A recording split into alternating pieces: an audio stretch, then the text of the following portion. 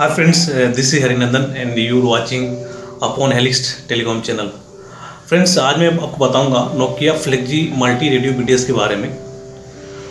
ये भी यूज़ होता है 2G टेक्नोलॉजी के लिए यूज़ किया जाता है।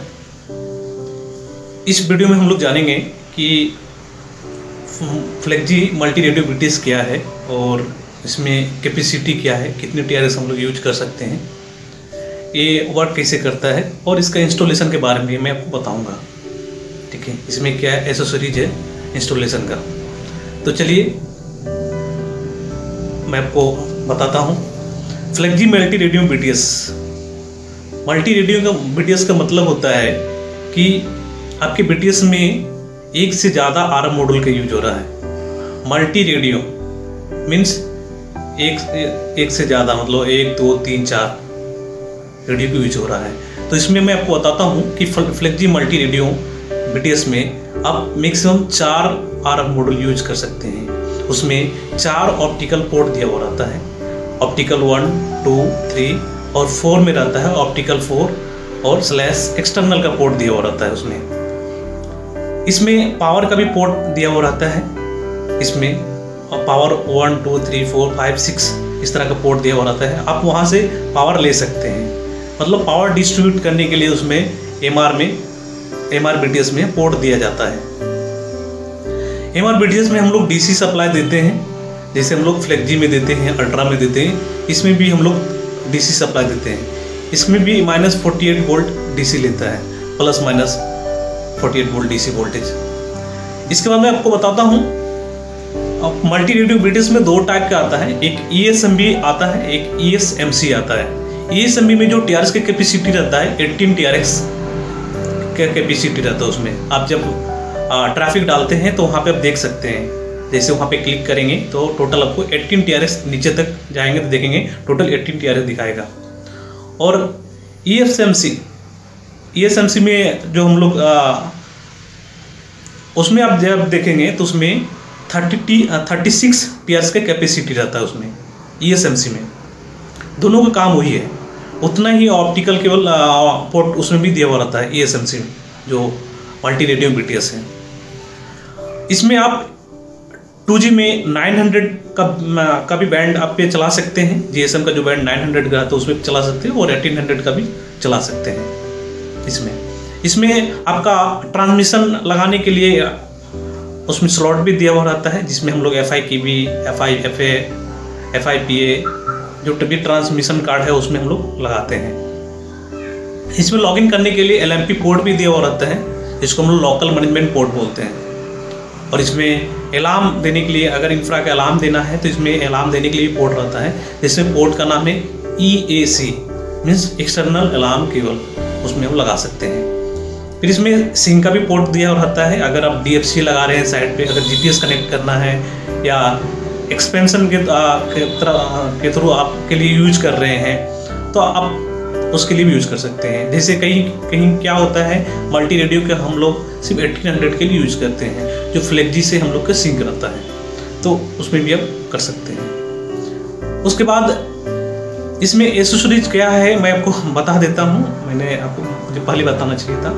इसमें जो एसेसरीज है, इसमें ई आपका हो गया, जो मल्टी रेडियो बीटीएस हो गया, जिसको हम लोग सिस्टम मॉडल बोलते हैं। फिर आपका आर एफ़ मॉडल हो गया, उसमें हम लोग जनरली हम लोग जो वोडाफोन में यूज़ करते हैं एफ़ एक्स डी जे और एफ़ एक्स जी बी अब जो एन का आर एफ़ मॉडल है, जो एस एन के फैमिली में आता है, उसमें एफ़ एक्स जे बी होता है, अब वो उसके, उसको भी यूज़ कर सकते हैं इसमें। और उसके बाद एफ़ एक्स ई बी भी यूज़ करते हैं हम, जो एटीन हंड्रेड के लिए आर एफ़ मॉडल है।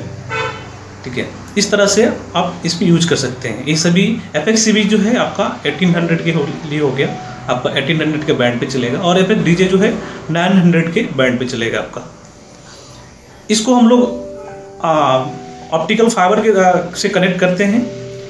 हम लोग ऑप्टिकल पोर्ट वन या टू जो भी आप सेलेक्ट करेंगे बी में वहाँ पर कनेक्ट करके फिर आर मॉडल में कनेक्ट कर सकते हैं।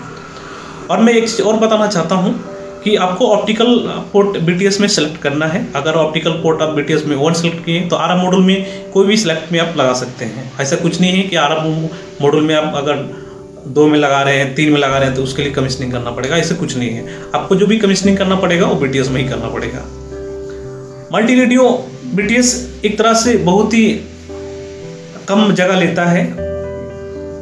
बहुत ही और 25 के का होता भी है। मतलब फ्लेक्जी बी जो है, उसके उसके लिए ये बहुत ही ईजी होता है। इसका ये मेंटेनेंस भी बहुत ईजी होता है। इंस्टॉलेशन भी बहुत इसका ईजी है। इंस्टॉलेशन के लिए आपको क्लैम्प प्लिंच और केसिंग की ज़रूरत पड़ेगा। आप इंस्टॉल कर सकते हैं। उसके बाद मैं आपको बताता हूँ मल्टी रेडियो BTS जिस तरह से आप फ्लेक्जी काम करता है सेम वैसे ही काम करता है। लेकिन मेरे को लगता है कि फ्लेक्जी से बहुत ही ज़्यादा बेटर आपका मल्टी रेडियो बी है। क्योंकि फ्लेक्जी बी का अगर ऐसा को हम लोग हटा देते हैं तो उसमें सिर्फ़ बारह टी की कैपेसिटी है। लेकिन अगर इसमें हम लोग देखते हैं तो ई एस एम जो हम लोग देखते हैं अट्ठारह टी की कैपेसिटी है। अगर ई एस एम सी लाते हैं तो उसमें और ज़्यादा थर्टी थर्टी सिक्स टी की कैपेसिटी है। तो इस तरह से हम लोग मैं जो आपको बताया, ये मल्टी रेडियो बिटेस का पूरा है। ए एस एम बी और ए एस एम सी हम लोग दो तरह के यूज़ कर सकते हैं, करते हैं। और नोकिया में हर एक तरह के भी इक्विपमेंट है, जो हर एक ऑपरेटर के अलग अलग नाम से यूज़ किया जाता है। एयरटेल में कुछ और नाम से यूज़ किया जाता है बी एस एल में कुछ और नाम से यूज़ किया जाता है। लेकिन जो इक्विपमेंट का है, काम और को ही करता है। तो सिम सिंपली ये समझिए कि जो इसका फ़ंक्शन है, उसके बारे में समझिए। कैसा काम करता है। इक्विपमेंट का नाम चेंज हो सकता है, लेकिन फ़ंक्शन जो फ़ंक्शन वर्क जो करता है इक्विपमेंट वो चेंज नहीं होता है। जिस तरह से ये काम करता है। उसके बाद जो आर मॉडल के आर मॉडल में आप जम्फर केवल लगाते हैं और जीएसएम से कनेक्ट करते हैं। जीएसएम से मैं बताऊँ, जिस तरह का आपको अगर 900 का आर मॉडल का, आपको 900 के बैंड में कनेक्ट करना है जीएसएम में। जीएसएम के पोर्ट में, अगर 1800 का आर मॉडल फिर 1800 में कनेक्ट करना है। जो भी जितना भी बैंड का रहेगा, उस तरह से आप जीएसएम में कनेक्ट करेंगे। तो इस तरह से पूरा है एम आर के, जो इस तरह से मैं आपको बताया। आई होप ये भी वीडियो आपको समझ में आया होगा। और मैं हमेशा बोलता हूँ कि नॉलेज के लिए है। अगर आपको अच्छा लगा तो इसको कमेंट भी कीजिए। अगर कुछ पूछना है तो आप पूछ भी सकते हैं कमेंट बॉक्स में। अगर आपको अच्छा लगा तो लाइक भी कर सकते हैं। अगर नहीं भी अच्छा लगा तो आप डिसलाइक कर सकते हैं, इसमें कुछ नहीं है। लेकिन चैनल को सब्सक्राइब करना मत भूलिए, क्योंकि अगर चैनल को सब्सक्राइब करेंगे तो आगे, अगले जो मैं वीडियो आपको अपलोड करूँगा, आपको देखने के लिए मिलेगा। ये सभी चीज़ें नॉलेज के लिए। तो आज के लिए इतना ही। Thank you